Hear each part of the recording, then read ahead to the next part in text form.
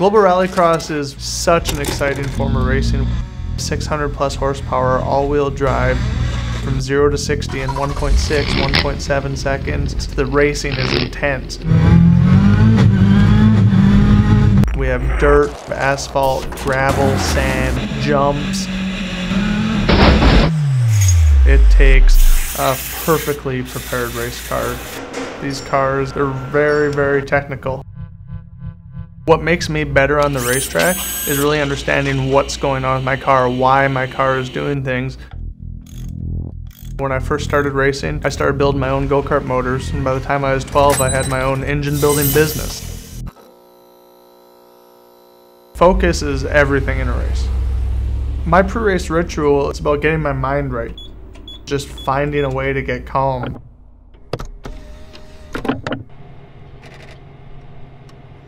Racing can be tough. I've had to fight real hard to get to where I'm at today. When someone tells you you can't, that needs to be the biggest piece of motivation you can possibly find within you.